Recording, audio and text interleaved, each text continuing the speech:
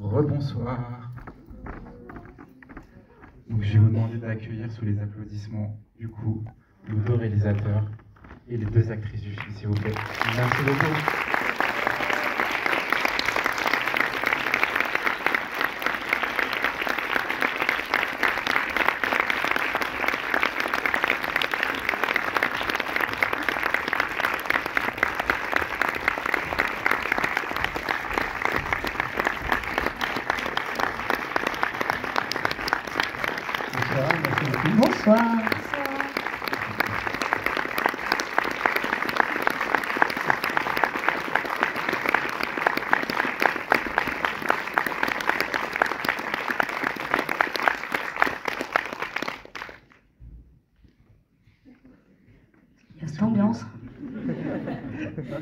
bonsoir à tous, on est vraiment ravis d'être là.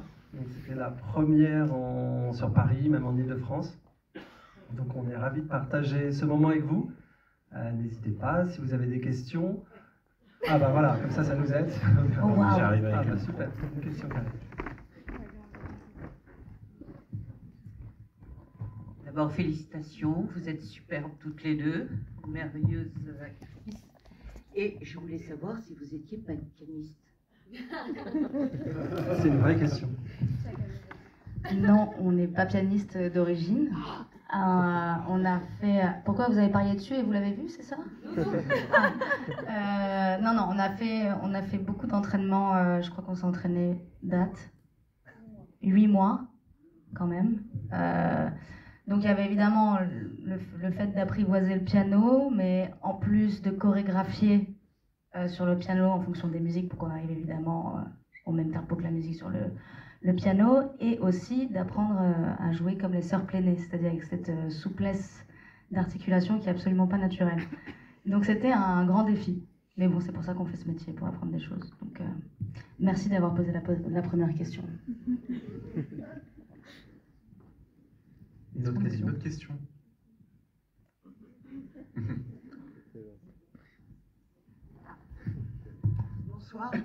Je confirme, vous avez été très, très. Moi, c'est par rapport à Franck Dubosc, que je ne l'attendais pas du tout, mais pas du tout sur ce registre-là. Et il, était, il, a été, enfin, il est très émouvant dans le film, mais malgré tout, j'ai senti quand même qu'il y avait quand même le côté un peu funky. Quoi. C'est lui qui porte un peu euh, le côté. Euh, enfin, je sais pas, j'ai trouvé quand même drôle dans, dans son rôle euh, de papa surprotecteur où il est hyper émouvant à la fin. Voilà, et Isabelle Carré, c'est du caviar. Aussi, évidemment. Bah, merci, pour, merci pour eux. Euh, oui, le choix de Franck, nous, on, était vraiment persuadés que c'était la bonne personne, parce qu'il porte le rêve. Il porte vraiment le rêve, et comme on disait, c'était la phrase un peu pour le personnage, l'enfer est pavé de bonnes intentions. Et on pense qu'il a cette vision, il a ce côté têtu, mais ce côté rêveur. Et on voulait pas être dans quelqu'un non plus qui soit que dur, parce qu'il a aussi cette vision, en fait. Donc il est porté par ça. Après, évidemment, euh, on se pose la question tous en tant que parents, est-ce qu'il faut pousser les enfants à ce point-là ou pas? Chacun a sa réponse, mais euh, je pense que c'était vraiment un très bon choix. merci pour lui. Est-ce qu'on a une autre question? C'est moi qui prends le relais. Là, on fait bosser le cardio. Il y a quelques étages à monter.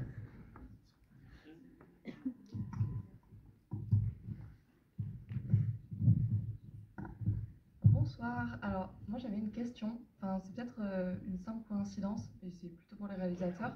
J'ai cru reconnaître des parallèles avec des films qui présentent déjà des personnages un peu obsessionnels comme euh, Whiplash ou euh, Black Swan. Est-ce que c'était volontaire ou est-ce que c'est le fait que ce soit un film sur la musique, sur le dépassement de soi qui, qui veut ça? Alors en fait, c'est clairement une histoire vraie. Donc ce qu'on a raconté, c'est ce que nous ont confié Diane et Audrey, donc qui sont les, les vraies jumelles. Et évidemment, il y a des parallèles qui se font parce que dans ce milieu-là, même dans la danse, comme dans Black Swan, euh, les milieux sont vraiment très durs, euh, c'est très élitiste. Donc on a ce rapport, elles avaient ce rapport avec ces personnages, donc c'est pour ça que ça revient. Après, comme on dit, on n'a pas le même message que Black Swan parce que nous, on voit qu'elles prennent un chemin détourné. Et Black Swan raconte qu'il n'y a qu'un chemin, est-ce que ça vaut le coup de faire, de perdre des élèves pour en avoir un qui brille? Et nous, on se rend compte qu'il y a un chemin différent, donc on n'est pas tout à fait pareil. Mais au point de départ, c'est ça. Elles sont dans une école avec un professeur très dur, qui a une vraie emprise sur elles, et ça, c'est un truc réel et qu'on voulait, euh, qu'on voulait montrer dans le film parce que c'est ce qu'elles ont vécu en fait. Merci. J'ai une autre question. On est là pour ça. Je vous donne le micro, ce sera mieux. Alors, quand on vous voit, dans le film, vous vous ressemblez. Et là, sur scène, pas du tout. Alors, je voudrais savoir quelle est la magie. Alors, on vous a effectivement euh, probablement fait la même teinture de cheveux, mais aussi le maquillage, c'est incroyable. Dans, le film, vous vous ressemblez. Et là, pas du tout. Bah, honnêtement, à part la. euh, Camille a été teinte en rousse, elle a eu une frange. Euh, et ça fait énormément quand même la coiffure, on va pas se mentir, parce qu'au niveau du make-up, je veux dire, on n'a eu aucun artifice, il n'y avait pas de prothèse, euh, on nous a pas mis de lentilles. Donc, euh, c'est des questionnements qui se sont posés au début, parce que Camille a les yeux presque vert-gris, moi j'ai les yeux bleus. Euh, donc elle est blonde, je suis rousse, on n'avait pas de frange, on n'était pas musicienne, on n'était pas pianiste, mais oui, vous avez passé un bon moment et vous y avez cru, donc ça marche. Non, mais tout ça pour dire que je pense que le fait qu'on soit amis dans la vie nous a aidés par rapport euh, à tout ce qui est mimique, à créer cette euh, gémilité encore plus forte. Mais euh, là où je suis assez fière aussi, c'est déjà qu'on soit pas pianiste et que ça fonctionne. Et qu'on ait eu, enfin oui, euh, zéro artifice au niveau euh, de la peau. Enfin, on, a, on nous a rien changé à part, euh, enfin le make-up c'était très léger. Et je vous dis, à part la, la couleur de cheveux qui a changé, il n'y avait pas grand-chose. euh, Non, mais tu vois, on nous a Non, c'était pas énorme. Vas-y Camille. Non, il s'est passé quel- Elles ont beaucoup travaillé aussi parce que l'attitude, la démarche, elles ont appris aussi à se ressembler dans la manière de parler, la manière d'être très complices. Et il s'est passé quelque chose, c'est qu'au début, Camille et Mélanie avaient le rôle inversé pendant longtemps. Donc elles ont appris la partition enfin, inverse. Et on a changé. Donc elles connaissaient bien aussi l'autre rôle. C'était pas voulu, mais je pense que ça, ça a aidé aussi. Et euh, comme je disais, beaucoup de travail aussi. Pour, euh, pour se ressembler, ça passe aussi par euh, les expressions, les attitudes et tout ça, ça joue beaucoup aussi. Bonsoir. Merci. Le, le film est très impressionnant. Et je veux savoir si vous avez eu l'occasion de rentrer les, rentrer les vraies jumelles pour préparer vos rôles. Euh, oui, on les a rencontrés, mais euh, je pense qu'on serait menteuse de dire que ça nous a aidé à préparer le rôle, en sachant qu'on les a rencontrés, euh, je pense, deux semaines ou trois semaines avant le tournage, euh, pour des questions pratiques. donc non, on n'a pas eu la chance de les rencontrer avant, mais comme il y a dans tous les cas un décalage d'âge où on pouvait pas, enfin, on pouvait pas se enfin, marcher complètement, s'identifier. Donc, euh, on les a rencontrés, ça nous a énormément aidé à comprendre comment elles, elles vivent leur maladie et comment elles ont vécu euh, tout- toutes ces années. Mais euh, il n'y avait pas ce, ce, ce truc de, de mimétisme qu'on a pu euh, piquer là-dessus à ce moment-là. Ce qui était intéressant, par contre, quand on les a rencontrées, c'était la dynamique entre elles. Mm. Ça, c'était vraiment assez bluffant de le voir, parce qu'il y en avait une qui commençait une phrase et l'autre la finissait. Mais sans arrêt, quoi. Et ça faisait un ping-pong comme ça, c'était assez euh, fascinant à voir. Ça, ça- moi, ça m'a personnellement C'est c'est choqué. vraiment ça. ouais. Ouais, elles, sont, elles sont vraiment comme ça. Et nous, par contre, on a beaucoup travaillé avec elles. On a reçu 1000 pages euh, de leur vie, de la naissance à maintenant. Et donc, on était vraiment nourris. On pouvait diriger Camille et Mélanie pour être dans cet univers-là. Et après, ça joue aussi sur la déco. Par exemple, toute la, toutes les scènes dans la maison qui sont en sous-sol, c'est le même, euh, bah, c'est les mêmes sous-sols qu'elles avaient avec le piano comme ça, dans du liège. Donc, on est assez proche de la vraie histoire. Bonsoir. Alors moi, c'est une question pour les actrices principalement. C'est pour savoir ce que vous êtes allé chercher en vous ou est-ce que vous avez déjà eu dans votre vie quelque chose que, par exemple, la nature ou la vie vous aurait retiré, mais que justement, un petit peu comme dans le film, vous êtes quand même allé euh, chercher, vous avez forcé le pied et vous avez fait votre place euh, malgré tout?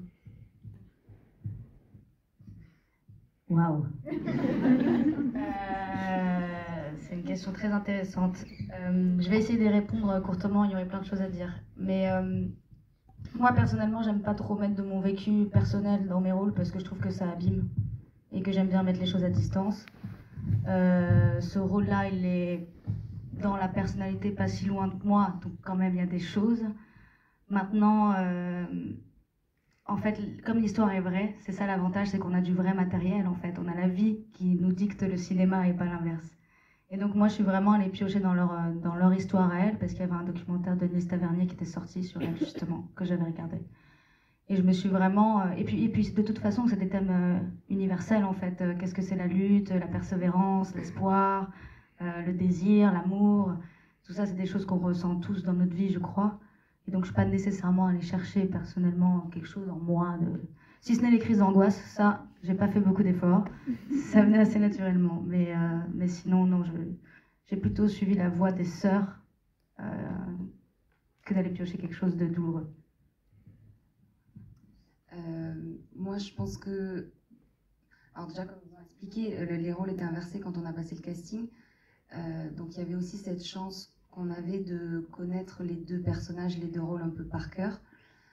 Et ensuite, euh, c'est vraiment pas parce qu'ils sont là, mais c'est vrai, le scénario était incroyable, était tellement bien écrit que c'est une chance quand on fait ce métier de voilà d'avoir un scénario comme ça au tout début et de pouvoir travailler parce qu'on a énormément travaillé en répétition en amont et, euh, voilà comme je, je disais on est amis avec Camille donc il y avait, plein de choses qui nous ont aidés donc je dirais pas que c'était simple c'est pas le cas mais c'était tellement un tournage euh, bienveillant enfin moi j'étais tellement heureuse d'y aller que je sais pas on travaillait les scènes ensemble on refaisait on répétait donc voilà, je sais pas si je suis allée puiser des choses euh, au fond de moi, mais ça, venait assez naturellement. Et après, la seule chose peut-être que moi j'ai en commun avec cette histoire, c'est euh, c'est la persévérance qu'on a dans ce métier, qui est quand même assez dur. Euh, voilà, j'ai- peut-être puisé là-dessus de, de me dire quand je suis arrivée à Paris à 20 ans avec, euh, avec tous ces rêves et qu'aujourd'hui euh, j'ai la chance d'être là devant vous et de vous parler de ce film, bah, je me dis, euh, voilà, j'ai pio- j'ai pioché là-dedans peut-être. Alors, bonsoir euh, Camille, Mélanie, messieurs. Bonsoir. nous on se connaît. Et euh, je voulais vous dire que ce soir, j'ai pas vu euh, Camille et Mélanie, mais j'ai vu Claire et Jeanne. Je savais pas ce que j'allais voir et euh, c'était incroyable. Bravo, parce que je sais que c'est un projet euh, que vous avez porté longtemps, tous. Et franchement, c'est euh, magnifique, une très très belle réussite. Bravo. Merci beaucoup. Merci à toi.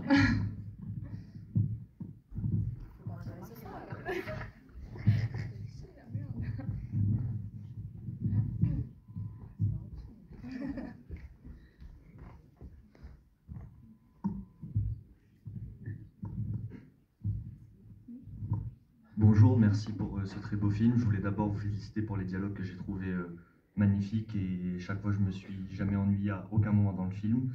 Euh, J'avais plus de questions.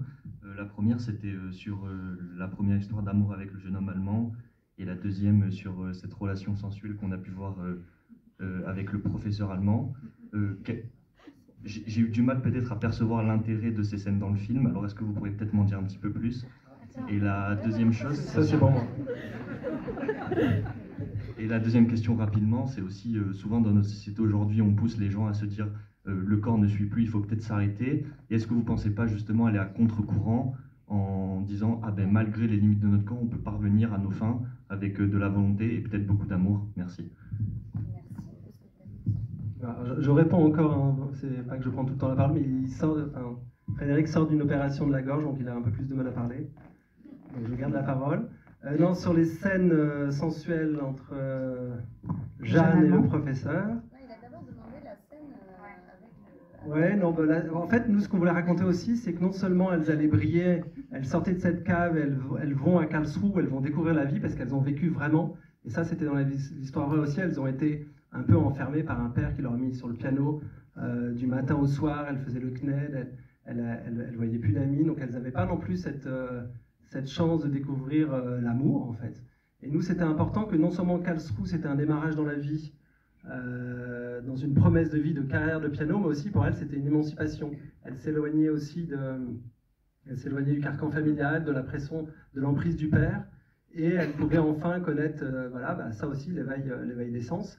Et je pense que aussi dans, c'était aussi pour parler de ce renoncement-là, parce que dans une carrière, souvent, il faut avancer, avancer, se sacrifier, et, donc, alors qu'elles allaient enfin briller, la maladie, est tout arrêtée, dont ça aussi. elle se rendait compte qu'elle perdait aussi ça. Et notamment avec le, professeur, ça permettait aussi de faire grandir le personnage de Jeanne, qui prend la lumière à ce moment-là et qui commence à exister. Et je pense que c'est euh, un côté aussi un peu initiatique qu'on trouve intéressant. Ça nous permet après cette séquence de voir le personnage différemment, avec plus d'entrain, plus de force. On pense que c'était important voilà, dans, son, évolution dans l'histoire, plus mature. Et il y avait une autre question. Tu veux y répondre, Camille? Non C'était juste la deuxième question, pardon, j'étais concentré sur la première. Oui. D'accord, donc c'est-à-dire qu'une question sur la résilience? Voilà. D'accord. Euh, bah oui, donc c'est un film sur la résilience, effectivement. Et, euh, et pour le coup, c'est une histoire personnelle qui est arrivée. Bon, je, on va aller là-dessus, pourquoi il ne parle pas euh, Non, là, enfin, Frédéric, mon, père, c'est on est père et fils, l'a un peu vécu avant le tournage. Il s'est avéré qu'il avait un cancer de la gorge. Euh, C'était quoi Un mois avant de tourner. Donc tout s'arrêtait. Donc on s'est retrouvé un peu euh, bah, dans une position un peu similaire, enfin surtout pour lui. Et voilà, le film s'arrêtait. Heureusement, on, était, on a été soutenu par tout le monde, par Camille, Mélanie, nos producteurs qui sont ici. Et nous, de notre côté, on n'a pas lâché. On voulait porter absolument cette histoire de résilience et on s'est dit, bah, on ne va pas lâcher, on va se battre. Et, euh, et, voilà, on est là ce soir, donc euh, on croit dur comme fer que quand on lâche pas, on peut y arriver. Euh, il y a des chemins aussi détournés, il ne faut pas croire qu'il n'y a qu'un chemin, c'est ce que raconte le film, ce que je disais. On peut aussi prendre des virages différents et y arriver autrement, mais y arriver quand même et exister. C'est ça l'idée.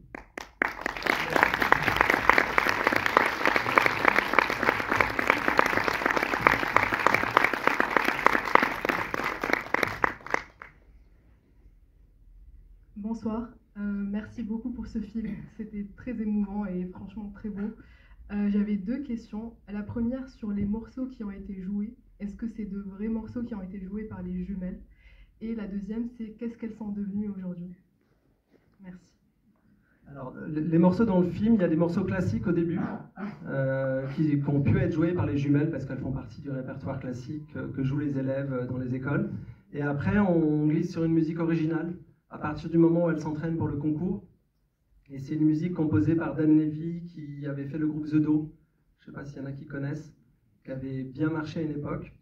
Et il a composé toute la musique du film, et il a fait un travail euh, assez intense. Et notamment, ce qu'on avait besoin, en fait, c'était de rester dans un univers classique, mais de pouvoir euh, glisser dans les émotions des personnages et que ça devienne le score comme une musique qu'elles ont dans la tête et qu'elle devienne un peu différente, comme un murmure, l'éveil des sens pour Mélanie à un moment donné aussi. Euh, et donc c'était intéressant en fait d'avoir des musiques propres au film et en plus de proposer une nouvelle musique.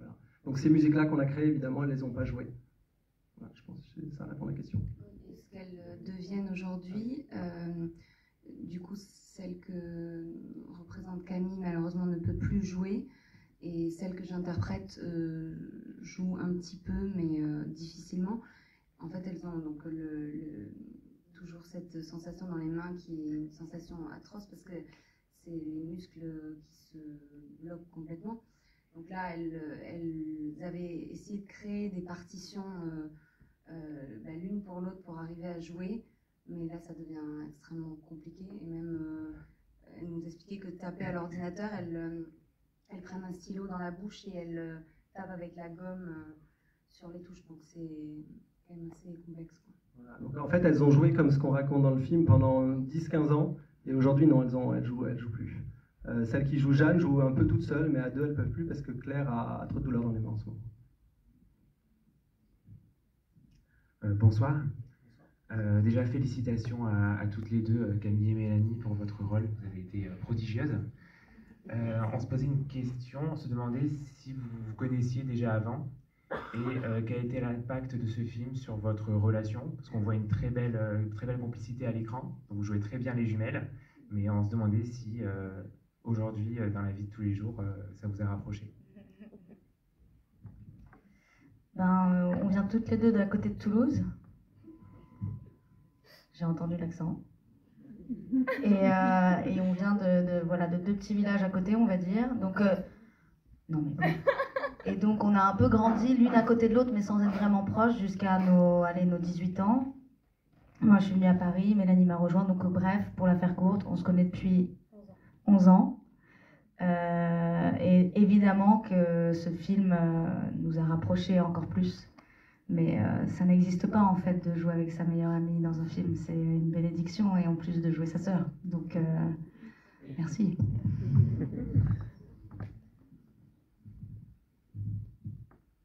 Moi j'ai une question. Vous avez dit que vous avez changé les rôles euh, en cours de process. Je voulais savoir euh, pourquoi, parce que c'est vrai que quand on vous voit, enfin vous matchez très bien avec vos personnalités, euh, donc euh, j'ai du mal à imaginer euh, l'inverse. Valentin, pourquoi Et nous aussi, on, avait du mal. à- Non, en Pourquoi fait, t'as pas- décidé de switcher nos personnages Ah, deux mois avant de tourner On se pose la Tu sais, question, quand on avait déjà tout cette appris. En fait, on a eu une idée, à, je pense que ça s'est passé à 4 aussi avec nos producteurs, on s'était réunis et on, on était contents et d'un coup, c'est venu sur la table et si on avait fait l'inverse, qu'est-ce que ça ferait? Puis On est sorti de là en se disant non, c'est n'importe quoi, puis ça, ça a trotté. Et une semaine après, on s'est dit bah si, c'était peut-être mieux, enfin ça serait peut-être mieux, mais comment leur annoncer? On avait assez peur, elles, ont- elles bossaient depuis un moment. Voilà. et- mais comme elles s'entendent bien, et que tout va bien, elles ont pris avec le sourire, elles ont bossé. euh, elles ont- euh, moyen, moyen. Non, non, elles l'ont bien pris. Elles l'ont bien pris et je pense, t'as on pense que t'étais t'es ravi de switcher. Oui, elles avaient bien mais c'est du travail, c'est bien. Et on pense que ça a servi le rôle quand même. On pense que finalement c'était une bonne solution et on n'imagine vraiment pas l'inverse maintenant. Mais franchement, c'était pas. Si on n'avait pas à ce moment-là euh, changé comme ça, elles auraient joué l'inverse. Ça aurait, ça aurait été possible. Mais t'as pas vraiment répondu à la question parce que moi c'est une question que je me pose de- depuis qu'on a tourné quand même. J'ai répondu à quoi Elle règle ses comptes ce soir. Mais pourquoi? Pourquoi Parce vous qu'on- avez Parce qu'on s'est dit que la sensibilité de Claire marchait bien avec toi et celle de Jeanne avec euh, Mélanie, un truc comme ça, non? Ouais. On s'est dit que ça marcherait On bien. sent bien là, la Suisse comme ça. là. Ouais, on s'est dit aussi la, la force de Camille dans Claire marcherait bien et la fougue de Mélanie dans, dans Jeanne aussi. Mais je pense que on a raison, non? Bonsoir. Alors déjà, bravo pour le film parce qu'il est vraiment incroyable. Et euh, aussi, je voulais savoir comment vous avez eu l'idée de faire un film sur euh, ces deux sœurs? En fait, l'idée est venue, on avait, un ami qui nous les a présentés, avec qui on a pris un café. Euh, ça a duré trois heures, elles, nous ont livré leur vie, elles voulaient qu'on parle de leur histoire. Et on était là pour les écouter, parce que nous aussi, on, est, avait fait des courts-métrages, on voulait faire des longs-métrages. Et, on a été très émus par ce qu'elles nous ont raconté. En trois heures, elles nous livraient des scènes de vie, comme lorsqu'elles arrivent sur scène et qu'elles posent avec leurs mains fragiles quelques notes et qu'elles comprennent euh, qu'elles vont reprendre le piano, elles nous l'ont livré comme ça. On s'est dit, mais ça, il faut, que les gens le, sachent, parce que c'est une belle histoire de résilience. On était super émus, et euh, on est sorti de là, on s'est dit, il faut qu'on le fasse. On les a rappelés, on leur a dit qu'on était partant, et là, elles nous ont livré 1000 pages de leur vie pendant un an. Effectivement, elles écrivaient avec les gommes euh, de leur stylo renversé parce qu'elles avaient mal aux mains, donc c'était compliqué, sur des claviers d'ordinateur. Et le plus dur après, ça a été de tirer une histoire parce qu'on avait 1000 pages, mais c'était comme un cahier de vie de chaque anecdote de leur vie. Évidemment, on n'allait pas tout raconter, il fallait tirer une histoire et pas les trahir, n'est pas simple non plus. Et, euh, après, on leur a dit faites-nous confiance, on vous montrera pas le scénario, mais on vous montrera le film. Et elles ont accepté. Et donc voilà, ça s'est passé comme ça. Bonsoir. Euh, J'ai une question pour les deux actrices. J'aurais voulu savoir, ici. J'aurais voulu savoir euh, quel était votre regard sur euh, les deux personnages masculins principaux, euh, le père et le prof, qui sont tous les deux euh, dans chacun dans leur style, dans des comportements euh, assez toxiques, très toxiques. Donc je voulais savoir quel était votre regard sur ça. Euh, alors, je vois ce que tu veux dire quand tu parles de toxique à- euh, par rapport à Franck, qui joue notre père. Euh, moi, c'est marrant, mais il y a plein de gens qui le voient comme ça. Et moi, même en lisant le scénario et encore plus en voyant le film, euh, je le trouve touchant. Parce que euh, bah, je prends mon expérience. J'ai annoncé à mes parents à 19 ans que je voulais euh, partir pour devenir comédienne à Paris. Je viens de Toulouse. Je, suis, la seule fille de mon père, donc je peux comprendre ce truc de genre non, c'est hyper compliqué. Et, euh, et là, le personnage de Franck, Serge, il a, il a ce, besoin euh, perpétuel de euh, qu'elles réussissent, qu'elles euh, arrivent à être les meilleures, parce qu'en fait, il ne veut que ça. Donc tu peux te dire qu'au début, il est hyper dur et, et c'est pas bien ce qu'il fait. Et en plus, t'as un peu l'impression qu'il qui, comme il n'a pas réussi à, faire ce que lui avait envie dans sa carrière de, comment on appelle ça euh, Pianiste de- Non, d'apnéiste. Pianiste.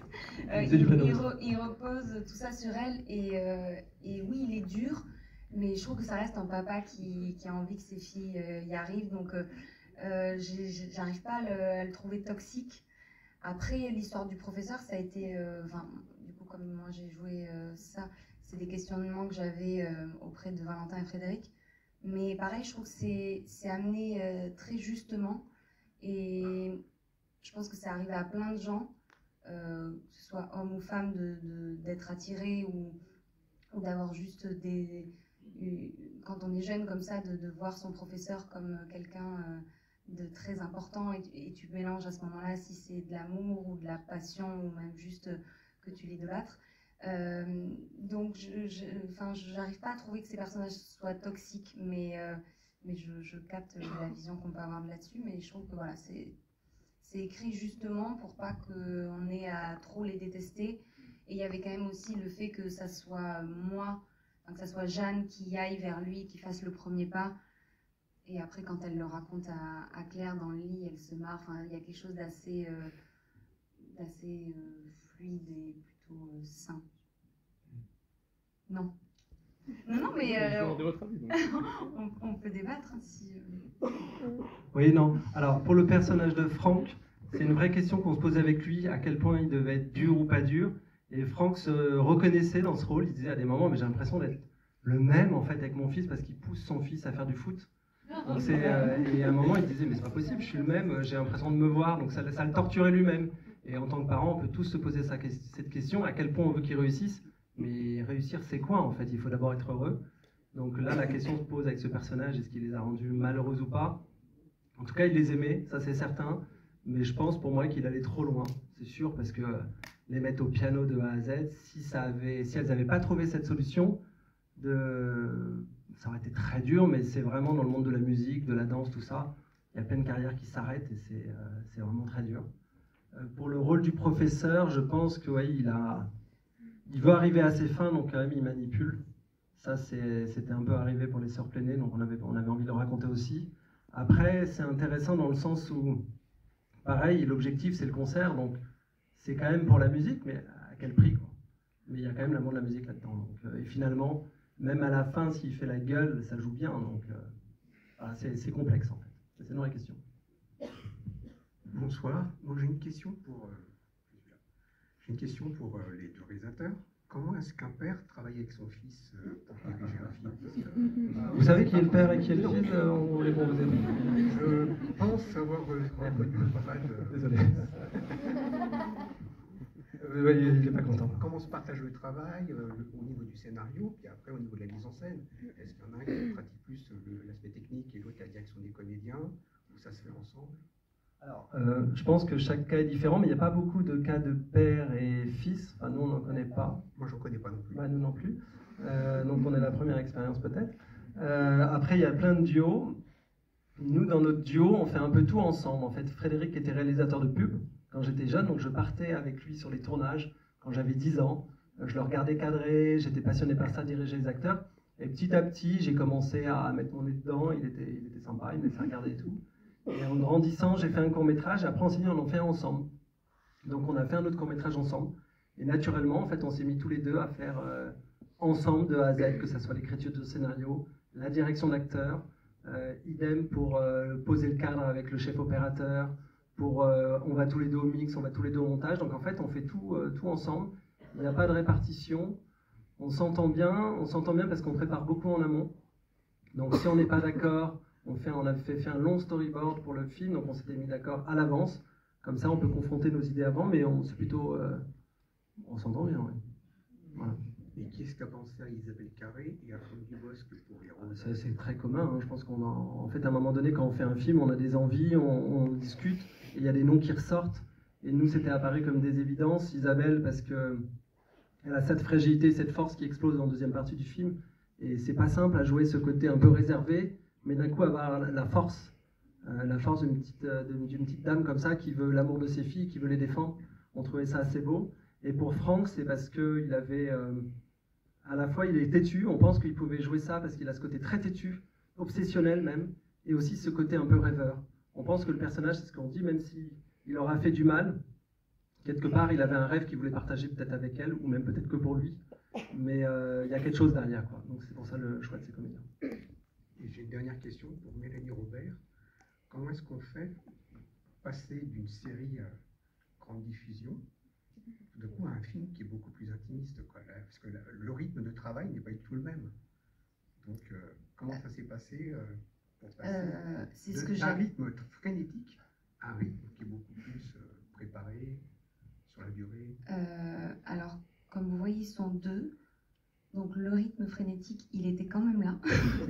Euh, non, c'est différent. Une série d'un film, c'est différent. Après, moi, euh, c'est ce que je dis, j'ai eu une chance incroyable parce que c'est quand même très rare d'avoir la possibilité de faire ça. Et je le redis, je les remercie énormément parce que tout était parfait. Euh, C'était un premier rôle avec ma meilleure amie, réalisé par un père et un fils sur une histoire vraie, magnifique. Donc euh, dans ces moments-là, on se pose pas de questions, on se dit juste euh, c'est une chance énorme, elle se reproduira peut-être jamais. Donc euh, non, j'ai pas trouvé que c'était plus dur euh, après moi j'ai- quitté cette série en 2020 au moment où on a été casté, mais on a tourné le film en 2023, donc j'ai aussi ce, temps-là pour, pour travailler. Donc, non, c'est totalement différent. Voilà, je, je, je préfère tourner ce genre de choses parce que il y a un travail qui est vraiment poussé sur le personnage, sur la, sur la mise en scène. euh, donc c'est voilà, c'est différent. Je dénigre pas du tout les séries, mais c'est différent à, à- à jouer et à tourner. En tout cas, bravo, parce que l'une comme l'autre, vous êtes prodigieuse. Merci beaucoup. Je vous inviter à toutes les avant-premières, madame. Toutes. C'est noté en haut la production On les emmène. Est-ce qu'on a encore des questions? Oui.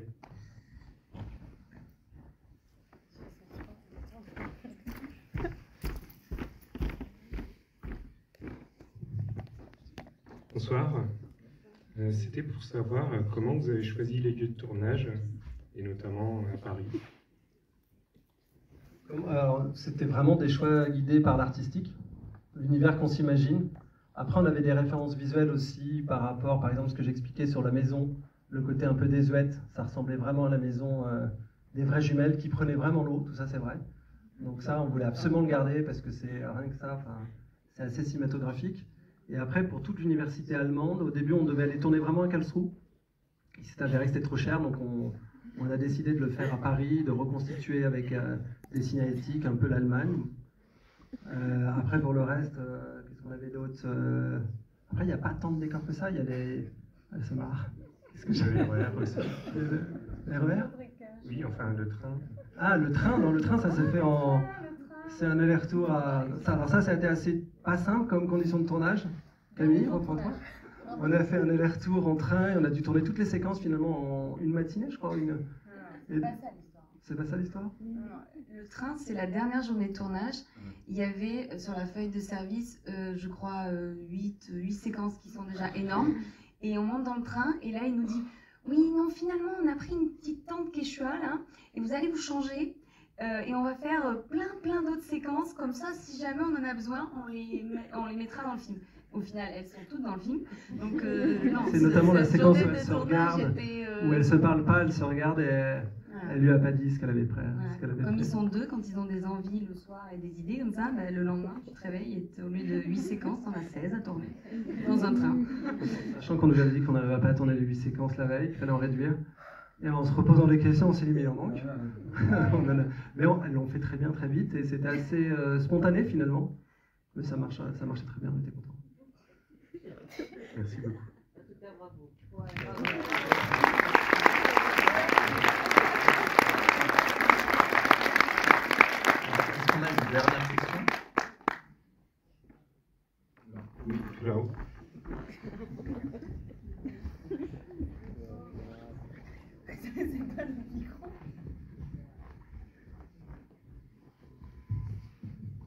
Bonsoir.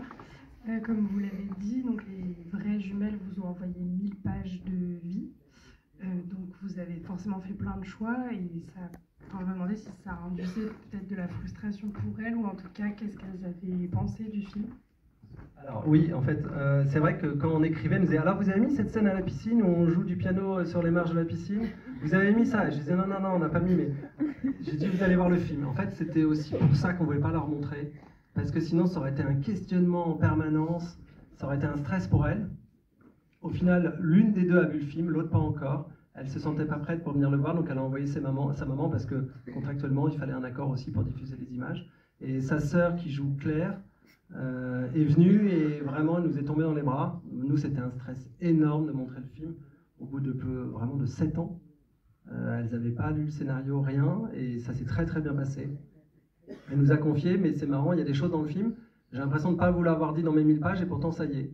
Donc on était, euh, on était assez contents parce qu'effectivement, on a aussi pris beaucoup en leur parlant de leurs attitudes, de leur manière dont elles parlaient, avoir un regard sur elles qu'elles nous auraient peut-être pas transmis. On avait besoin aussi de, de restituer ça, donc euh, voilà. Merci à tous. Le film sort le mois prochain, c'est ça hein? Alors, Le 20 novembre. novembre. dans un mois et demi, Presque, ouais. ça va, Ah on va ouais. pas être trop impatient. Ça arrive. Voilà, on vous remercie tous d'être venus. J'étais ravi de partager ça avec vous. Si vous avez aimé le n'hésitez pas à à oreille, ça marche vraiment. Même à mettre des petites notes sur les, sur les sites, ça marche aussi, ça donne envie. Voilà, l'idée c'est de porter l'histoire des. euh, ou des bonnes notes aussi. L'idée c'est de porter l'histoire des jumelles. Voilà, nous on l'a fait jusqu'à maintenant, mais maintenant ça, ça vous appartient. Voilà, merci. Merci à tous et à toutes. Si vous voulez venir nous voir pendant encore quelques minutes, n'hésitez pas. De